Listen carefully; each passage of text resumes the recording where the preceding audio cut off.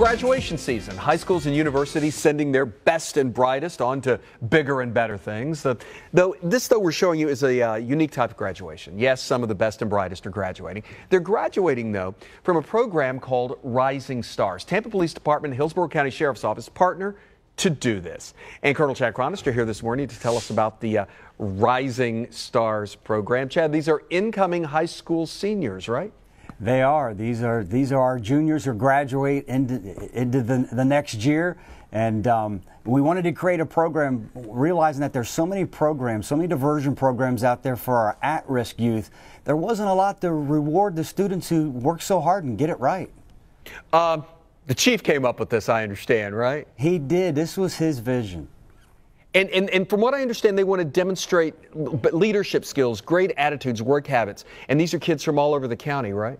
They do. Each school is allowed to select one student. And what they do, they, they base their criteria on those who write a leadership essay those who um, do well in school. And I think most importantly, Russell, it's based on their community service. These aren't students who just work hard, they're students who pay it forward. They're the ones who get up early and go feed the homeless or work at a shelter or do some type of youth volunteering in the afternoon. Uh, all the students are quite incredible. I love the video that, that we're seeing right now of uh, what goes on at this, at this uh, training session. I mean, I know it's work, but it's also it looks like it's got to be a lot of fun too. And it is. We bring them in. We expose them to a variety of speakers, business and community leaders. We bring them in. They do a ton of team building exercises, as you see. And then at the same time, we do. We expose them to a lot of fun. They get to drive our police cars. They run the obstacle course. We show them our specialty teams. They get to ride out in the boats. They even get to take a, a tour throughout the courthouse. And I heard they do crime scene investigation. They do, and I think that's really neat. They get to solve a crime. So each each they break them up into four different groups, and they come in, they get a crime scene, and they have to try to solve the crime, which is uh, quite unique with the. Um, the tools that we give them to solve it at the time. Neat, it's neat. All right, we showed some graduation pictures earlier, but uh, there's a there's a pretty neat payoff at the end for these kids, right?